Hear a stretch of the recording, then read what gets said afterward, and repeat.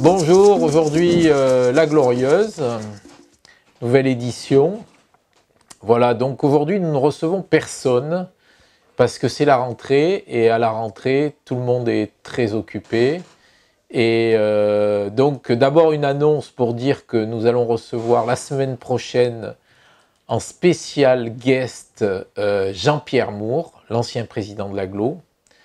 Ensuite une petite auto-promo pour dire qu'en juillet-août 2017, euh, sur le site de la Glorieuse, nous avons eu 600 000 pages vues.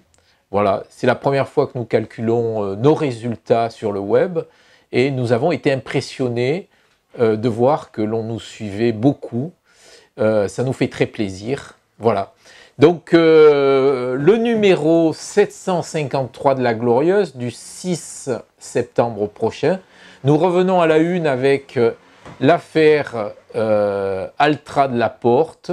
Voilà, nous avons fait un peu le point. Nous revenons sur le parfum de scandale, les conflits d'intérêts, euh, le contrat litigieux, voilà, donc euh, ça intéresse euh, de savoir un petit peu quelles sont les évolutions de ce dossier.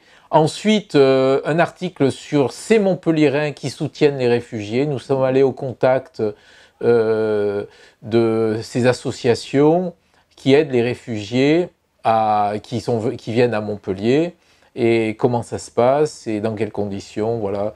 Euh, un autre article sur l'aéroport et la possible entrée de l'aéroport dans la métropole de Montpellier. Euh, un article sur notre présidente régionale d'Occitanie, Carole Delga, qui recherche euh, des vice-présidents après des problèmes de cumul des mandats, de démission.